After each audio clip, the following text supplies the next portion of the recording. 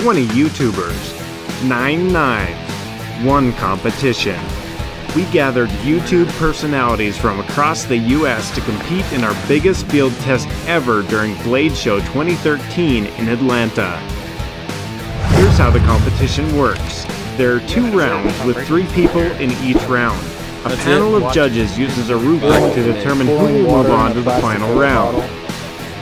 Chance of survival to five. Each participant can use up to three personal survival items and the knife oh, that Blade HQ provides. I'm- I'm- I'm You'll new have here. 20 minutes to make preparations to survive the following scenario. A large storm levels your town. Fires, looting, and chaos force you to leave home and hunker down for a few days until authorities reestablish order. We're gonna bug out into the woods. This is where you ended up. We got mini cold steel Tuff Lite. You guys ready for this? You'll have 20 minutes to use it. Two people will get eliminated. One will move on to the next round. Then the shelter. I don't really have a strategy yet.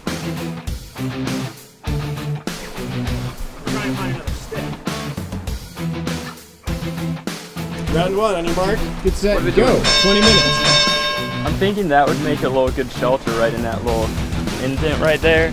Gavko begins the round by starting a fire with his lighter. I had that lighter, good lighter to begin with. I didn't have to use ferro, nothing, so it was pretty easy. He might lose creativity points, but his method is effective. I mean, the skill used is known to bring a lighter, so I think he's doing pretty good with skill used. Brian is constructing a bow drill. He has tried the technique before, but he has never been successful. The clock is ticking and Gavko isn't wasting any time. His knife is seeing good use, and his survival items are helping his camp take shape. I like this one actually. I have two of them myself, but not the full color. It will get the job done. I want to do something super simple. Give us some more. my third? My third Mike will sneak it Oh, we're threading. try and find another stick to put on top. So I'm going to attempt to use this, but Brian's ingenuity may be enough to get him creativity points, but will he be able to get the survival points he needs to advance to the winner's round? There are 8 minutes remaining in the first round, and Archer is just starting to use his blast match for his fire. Too wet. I'd probably be dead by now. In the final 5 minutes, Brian has no shelter and no fire, Game over. but a lighter magically appears and he goes for it. Snag the lighter. the lighter. Archer's blast match has come through. He is fighting to keep his fire alive with minutes left on the clock. I want to find a stick to make a spear out of. Water in a plastic bottle, you can do that. Just leave the cap open so it doesn't explode. Put it on the side of the fire. His uh, idea about boiling the water in a in a plastic thing, he's got to keep that very high, uh, real, real high off of it, because as you can see right now, the bottle's starting to melt. I saw chipmunk, chipmunks here on the way here. Spear for if I ever see a fish here or like a chipmunk, chipmunk we seen. In the final seconds, Brian has abandoned his bow drill in favor of scavenging in the river. He finds a bag, but he's out of time to open it and see if there are supplies inside. Time's up. 20 minutes are over, and the decision rests with the judges. They have complete control over who moves on to the next round. Gavko, a difficulty of skills used, zero, because he had a lighter. But based on creativity alone, we went with Brian. Just because he made a bow, he was using the lanyard hole of the knife. And, just and more trying to do a bow drill when everybody's watching is really, really, really hard. He did start making a fire in the middle of a river, though. And he found a backpack full of camping That's right, he started foraging. Potential camping supplies. 12, 16, 13. 13, 14, 12. Even though Brian didn't get his fire started, he ended up winning. It actually held up pretty good. I use it as a uh, spot the bow drill, and uh, it's got some marks in there, but nothing bad. Despite his failed attempts, Brian's creativity and the judges' decisions send him to the winner's round. Round 2 is the exact same as round 1. Three items plus the knife. To get prepared to make fire. That would have been my shelter. The round begins, and Tactidude goes for a different approach. Eyesight tablets. My secret is be prepared. Pry this out. I'm foraging for whatever I can, finding stream, extra water bottles. I mean, I ain't gonna drink that, but if I find some fresh water, something to store it in. He's looking at that shelter that's either right there or up top. Tactidude heads up the opposite bank toward higher ground, and the one-man film crew bids him farewell. I'm gonna start making some stuff for to get prepared to make fire. I'm not gonna necessarily make fire because I don't have a lighter, but I, who knows what I'll find. Just gonna make a start of a bow so I can get some stuff prepared. It's sharp enough to do the job, but it's a little small, but it's not bad. I mean, if that's all you have, you definitely make it work.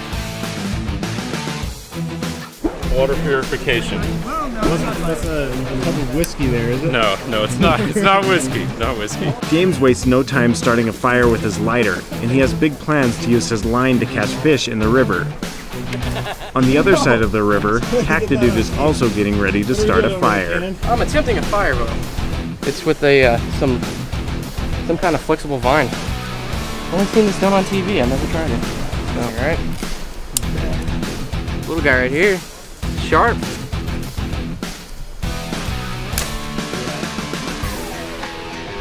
Now I'm just gonna oh. make this little spear. If I do see some fish or look for some earlier, at least I'll be prepared. Trying to get this fishing line untangled, and then I need to make a some sort of hook. Got the pink mini Tuff Lite.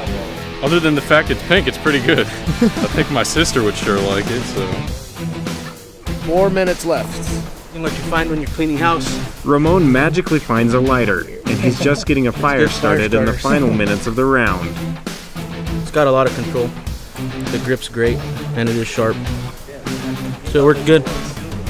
Tactidude lost his lighter somewhere in the wild jungle, but a titanium pea lighter magically appears to help him out.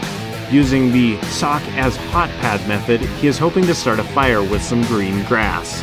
If it was a Bic versus this style lighter, you'd still be in trouble because it'd be hot because you keep holding on to it. On the other side of the river, James is trying out his new fishing pole and his homegrown hook. it needs a weight on it, and it need, could use some improvement. But for only 20 minutes, it's not that bad. If this is a, a tornado situation and normally that comes with rain and stuff, why is everybody right next to a river? Because it's probably going to flood or is flooding. There's a guy over there, he looks like he's chilling with the 40, but is that glass? Not nearly as flammable as plastic, and if he actually puts a whole bunch of um, sticks around it and keeps the water level higher than the sticks itself, the glass won't break. Time's up! The second round of 20 minutes is over, and it's up to the judges to decide who will face Brian in the winner's bracket. I don't think Cannon would have made it. He's a little past permanent injury. He didn't even have shelter. He didn't have a fire. He didn't have water. A lot of this survival stuff and all that. It's a lot of creativity. You're I got yeah, Ramon, yeah, yeah. Okay. 17, James, I got 11. 11, and I- then I- 8 I for didn't Cannon. By, by a long shot. Yeah. The scores are in, and it will be Ramon and Brian going head to head in the winner's round.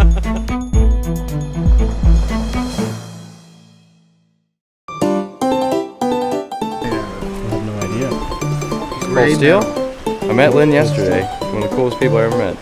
In fact, show us that picture, Jeff, while we're thinking about it. It was it was the greatest moment of my life. Jeff, He, he handed me the uh, the Raja there, and he pulled out his uh, Espada and just grabbed me. He was like, "Let's take a picture." Hell yeah! It was awesome. Yep. Awesome. Framing that one, put it on my wall.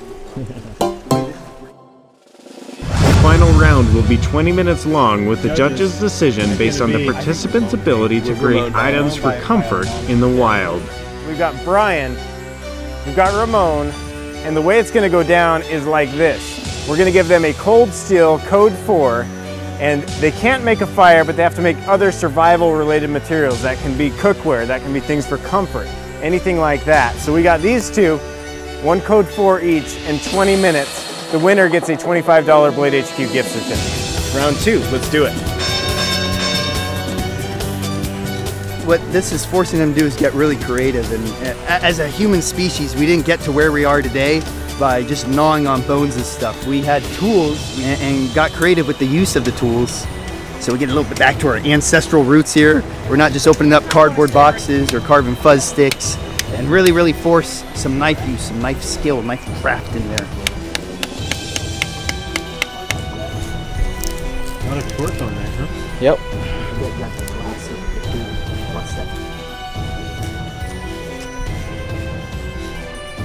Ramon is working on making hand tools while Brian is foraging for materials in the river again. I'm building shelter right here. I don't know if I want to spend my whole 20 minutes building a cover for it, but maybe I'll go cut some le leafy branches down. Now I'm just collecting trash. Ramon is trying to peel the bark off the tree to make cordage, no, that ain't gonna work.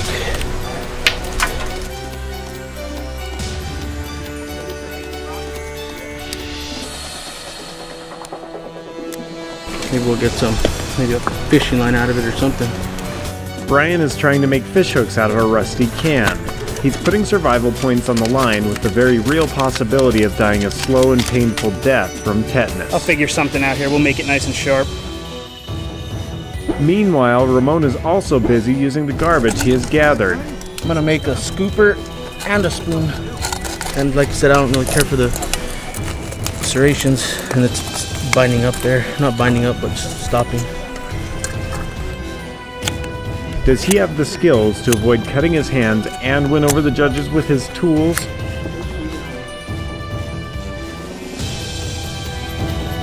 Two minutes. Two minutes, fellas. Trying to make a fish hook out of multiple things that just keep breaking because it's all rusty. Ramon is still gathering garbage in his push to the finish line. Crawdad trap. I got a collection of rusty fish hooks. I got a tourniquet. I got some strapping, and then I made this spear out of some zip ties that I found. The time is up, and now it's all on the judges to decide whether Ramon's axe and spoon trump Brian's hooks and spear. Did was made a hatchet. Yeah, so I'd say And it- difficulty of skills It was a, it was a pretty effective hatchet. You see that thing? Yeah, the hatchet's not easy to make. Brian is zero because he didn't look very comfortable. Okay. Activity I gave uh, Ramona five and Brian a four, so Four, I, yep. I ended up with 14 and 20. Yeah, so I say Ramon just by a hair. Yeah, I had I had Ramon 19 and Brian 16. And it's Ramon. He wins a $25 Blade HQ gift certificate and all the fame, stardom, and glory that YouTube has to offer.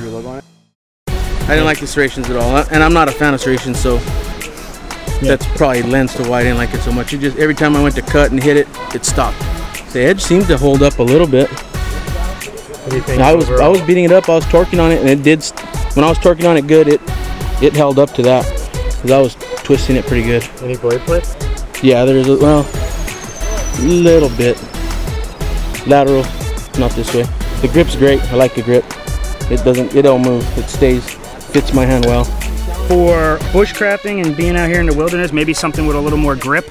The serrations were nice for out here in the wilderness. I'm not a big serration guy. Got a little bit of a bite mark on that middle serration from trying to carve a barb into a piece of metal from a fish hook. Other than that, not, not much. I mean, this thing held up pretty nice. Feels nice to hold. Feels solid. So, I like it. Give it a 8 out of 10, I'd say. And this little guy's just awesome. I mean, they had nothing, nothing good, nothing but good stuff to say about this one. I like it. Came in real handy on the first, uh, first challenge. I do like. I bought a couple of these myself. I have so this I think third one. I gave one away, but I I like this one. You open this anywhere, nobody cares. And uh, for how small it is and the, the way that they did the handle, you can put a lot of force into the cut. So if you need to cut some really nasty stuff, and it's so cheap that even if something happens, you don't care. You just buy a new one. Hey fellas, thanks for watching. Huge thank you to everyone who showed up for this little competition. I had a ton of fun. You guys have fun? Tons of fun. Guys, thanks for watching. Be sure to subscribe to these people's channels. I'm gonna leave their channels in the description box so you can go and subscribe.